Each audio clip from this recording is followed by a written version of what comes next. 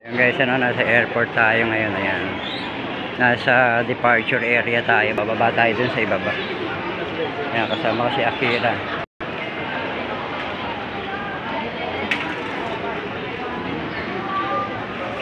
Baba tayo rin sa baba kasi med- medyo matraffic dun sa arrival eh.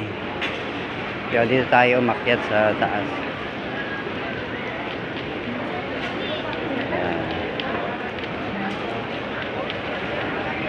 Yan, daming pasahero ngayon. ah. Wala pa lang escalator ito. Baba tayo. Ang daming ano, paalis.